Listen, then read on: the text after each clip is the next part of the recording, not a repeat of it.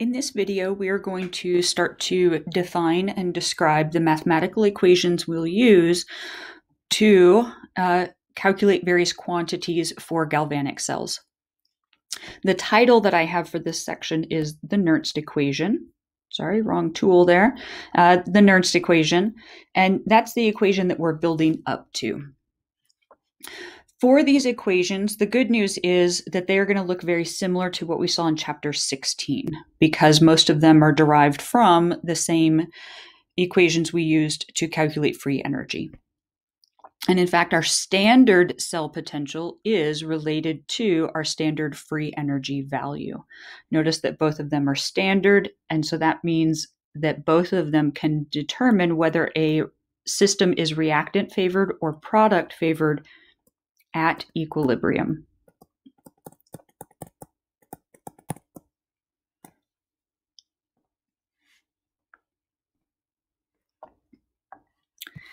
Before we get into our equations, there is a new constant that we will define, and this constant is on your periodic table.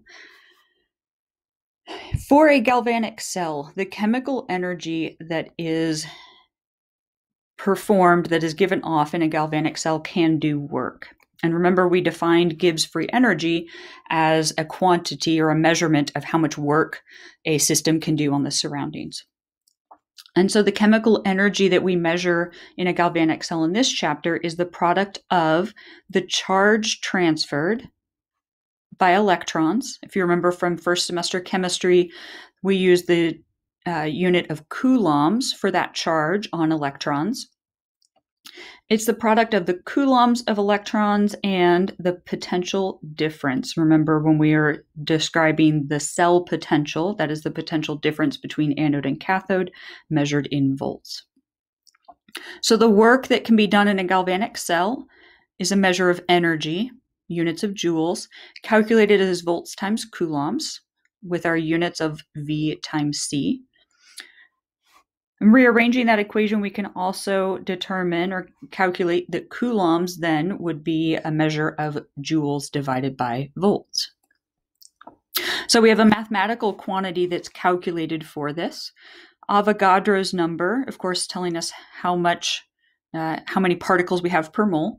Our measurement of the value of coulombs, that was the value that Millikan derived in his experiment. Multiplying those two together, we get a new quantity that we will be using this semester. This quantity is called Faraday's constant, and so it is denoted by the letter F in our equations. We use the rounded version of this. So on your equation sheet, it will be listed as 96,500. It is units of joules per volt per mole of electrons.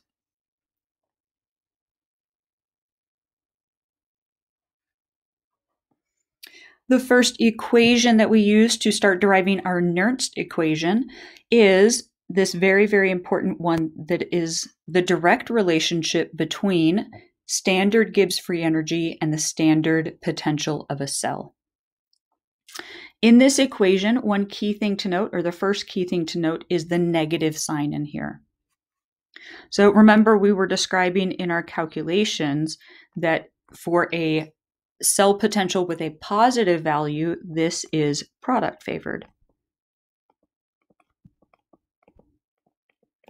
And also remember from our thermodynamics chapter that when our delta G naught is negative, we also get a product favored reaction.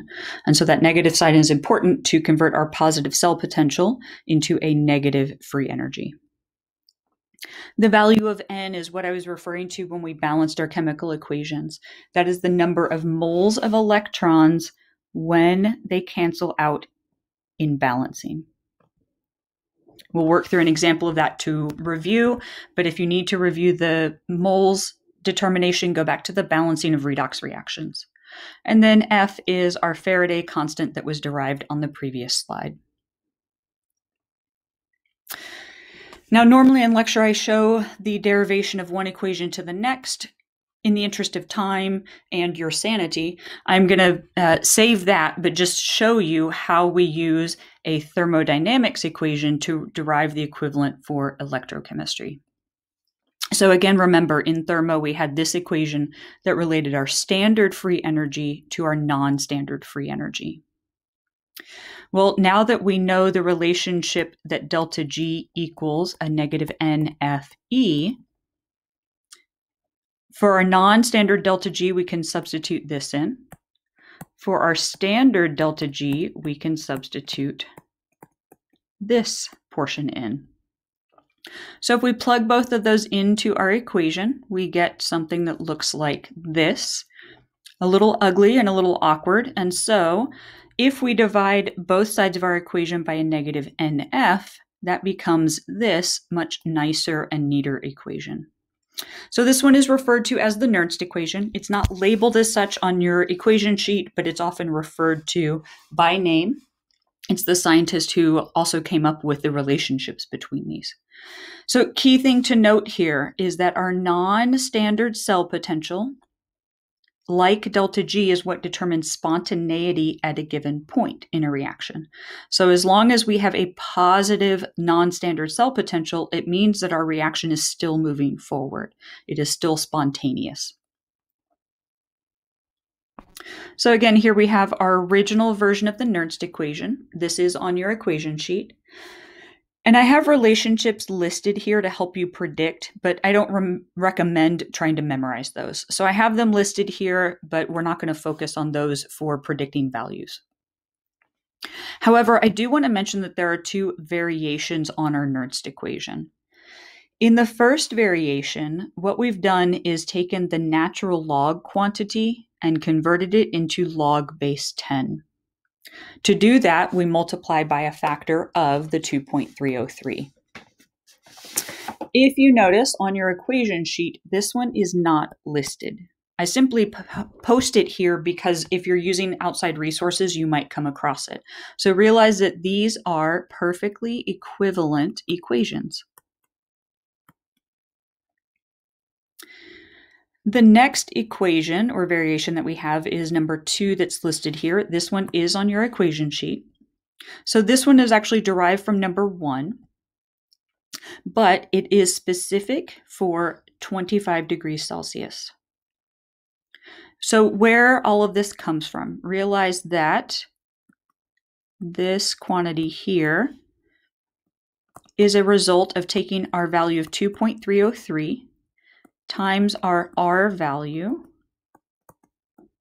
We're using the joules quantity because we are using Faraday's constant that has joules in it. And then if we're measuring at 25 degrees Celsius, we have a constant temperature of 298.15, and that's over n times our Faraday constant.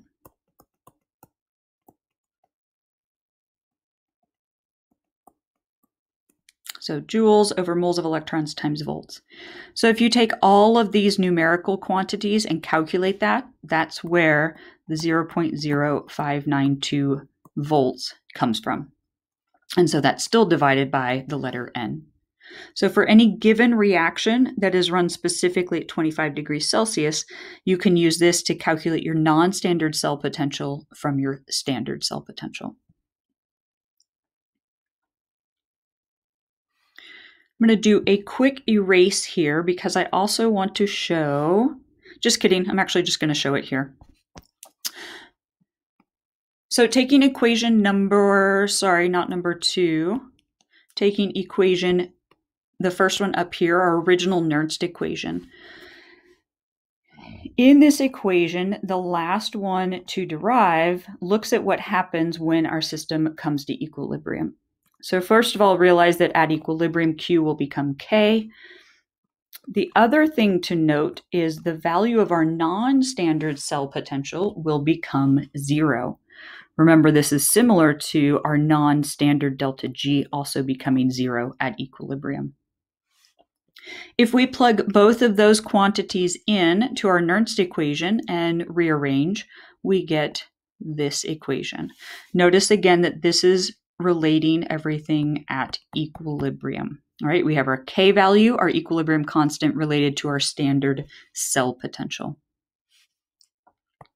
And hopefully you can see in this equation that when we have a product favored reaction where our standard cell potential is a positive value greater than zero, that means that we will have a K value that is larger than one. Another side note that I want to mention in here, in this equation, we always use just the standard E notation. It is implied that we are referring to the whole cell potential in here. Again, this all, these equations all apply to a whole galvanic cell. We would never use these calculations for just a half reaction. So we wouldn't use it for a reduction or oxidation half reaction. It's always going to be for the entire cell. The last two slides that I want to show here, this one, first of all, is new. This slide is not in your uh, slides that I posted online.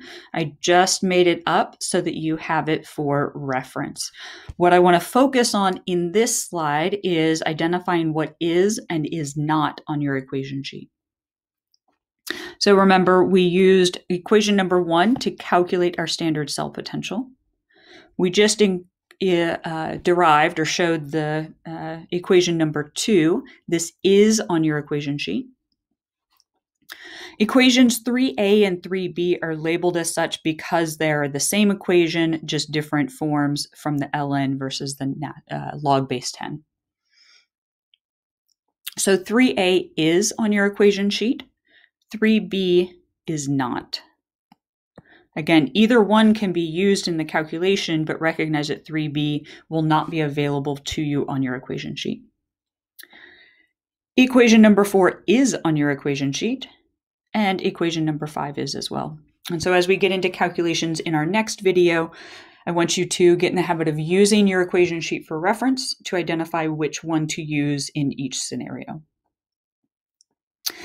Last slide to show in here is to illustrate the relative relationships between quantities. So when we calculate a positive cell potential, positive standard cell potential, that tells us we have a product favored reaction. That means we have a large K value. Specifically, that means K is greater than 1.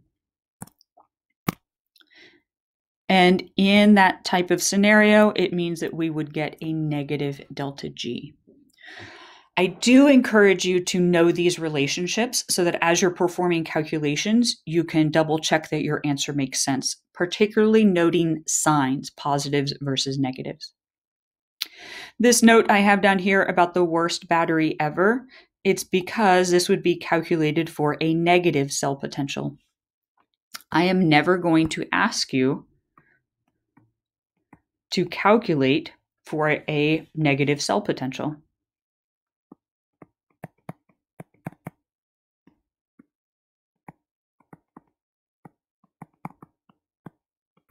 So I will never ask you to calculate a negative cell potential for a reactant favored battery on a quiz or a test. And that's because a reactant favored battery isn't going to run. That's not going to do anything for you. And so it is the worst battery ever.